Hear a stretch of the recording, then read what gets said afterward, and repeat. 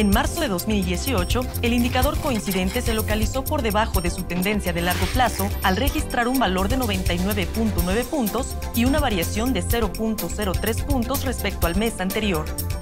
El indicador adelantado se posicionó en abril de 2018 por arriba de su tendencia de largo plazo al observar un valor de 100.2 puntos y una disminución de 0.02 puntos con respecto al pasado mes de marzo.